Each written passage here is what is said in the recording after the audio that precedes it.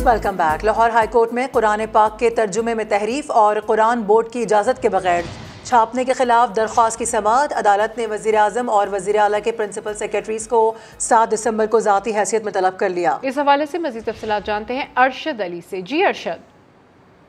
जी बिल्कुल जो है वो लाहौर हाईकोर्ट के जस्टिस शिजाद अली खान ने हसन मुआविया की दरख्वास्त पर समात की दरख्वास्त गुजार ने मौकफ इख्तियार किया था कि अदालत के दो हज़ार उन्नीस के फैसले पर जो है वो अमल दरामद नहीं हो रहा। इसके साथ साथ दरख्वास्त गुजार ने ये भी कहा पंजाब पंजाब कुरान पाक के तर्जमे में रद्द बदल के बगैर जो है वो तर्जमा छापा जा रहा है और कुरान बोर्ड से इजाज़त भी नहीं ली जा रही। इसके साथ साथ अदालत ने कार्रवाई करते हुए वज़ीर अजम और वज़ीर अला के प्रिंसिपल सेक्रेटरीज को सात दिसंबर को जाती हैसियत में पेश होने के अहकाम जारी किए हैं। अदालत ने मुतलका महकमों के अफसरान को भी आइंदा समात पर पेश होने के अहकाम जारी किए हैं जबकि अदालत ने ये भी वाजह किया है कि मुतल महकमों के जो अफसरान हैं वो बीस ग्रेड से कम ना हो ठीक है अदालत की जानब से वाजे कर दिया गया। अपडेट करने के लिए शुक्रिया।